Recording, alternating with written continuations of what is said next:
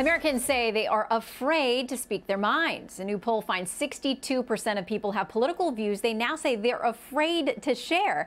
And these concerns do cross party lines. The majority of Democrats, independents, and Republicans all agree they don't feel safe to speak their minds on politics. All right, Katie, I want to start with you. I thought it was interesting digging into these numbers. There was one group that self identified that said they feel that they have complete freedom to speak out. These are people who describe themselves as, quote, strong liberals. 58% of them said they have no worries at all. Well, I'm not shocked at all that they have no worries at all, considering they are usually the ones uh, engaging in this so called cancel culture that we see. But Shannon, I think the implications for this are bigger than just people feeling like they can't speak politically, whether it's with their friends, their family. We talk a whole lot about the 2016 election polling, whether it was accurate or not. There's a lot of questions this year about whether pollsters will get it right between the race between uh, Joe Biden and President Trump. And if you're afraid to speak your mind politically, do you really believe that people on the phone who are answering questions about their political affiliation, how they feel about very sensitive topics like race and the president, uh, are, are telling the truth about the way that they actually feel. Um, I think that that puts a whole nother wrench into the situation with the polling and whether you can actually believe that people think the way that they do about the current state of the race. Yeah, and Juan, that leads me to another one of these numbers tucked in here. 77% of conservatives said they do not feel safe sharing anything. That was the biggest group. Now, does that give credence then to what Katie's saying, to what the president has said, is there is a silent majority out there not feeling safe to talk about it or talk to pollsters or post on Facebook, but they're going to show up at the ballot box? Well, you'd have to say that it's across a lot of polls.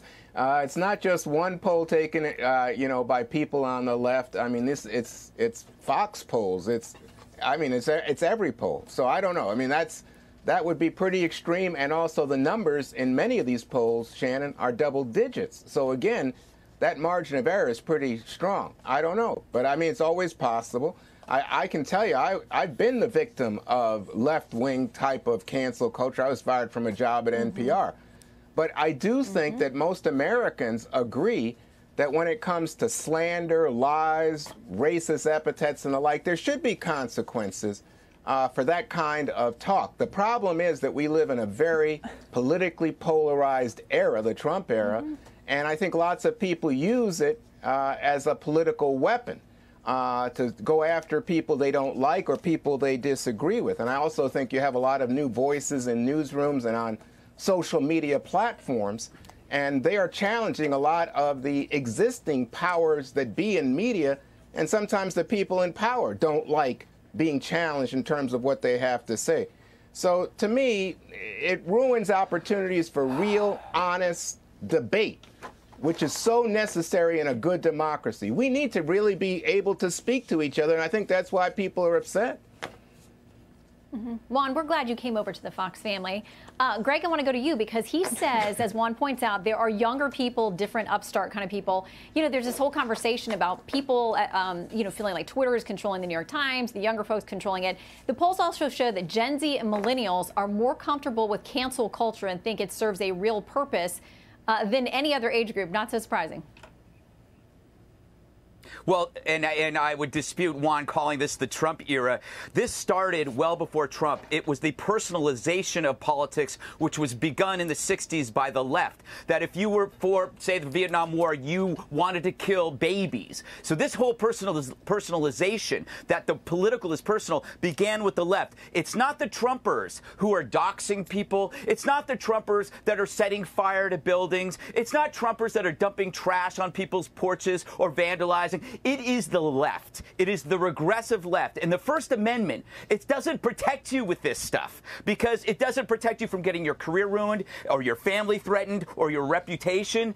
It's, it's an amazing contrast to see how the loudest voices on the left claim that their voices are being silenced. No one's silencing them as they go out and they try to silence people through physical intimidation, through doxing. If I dare anybody to say Blue Lives Matter and see what happens to them, right? Mm-hmm. Right? What'll happen to them? You can't wear a red hat in a public place, even if it even if it looks like a Trump hat. And corporations and businesses are so scared of social media that they just quiver whenever there's a mob. They have to stop. They have to grow a pair and realize that boycotters don't matter if they didn't like your stuff to begin with.